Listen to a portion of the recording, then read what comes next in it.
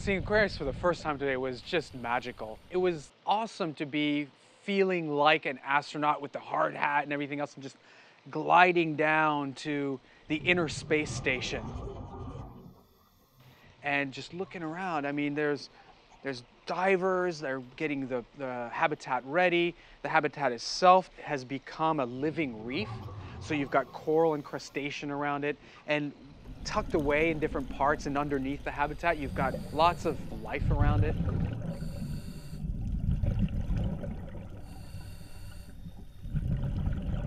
Uh, You know, it's out of this world and it's underwater and it, and there's, uh, it was magical, just really magical.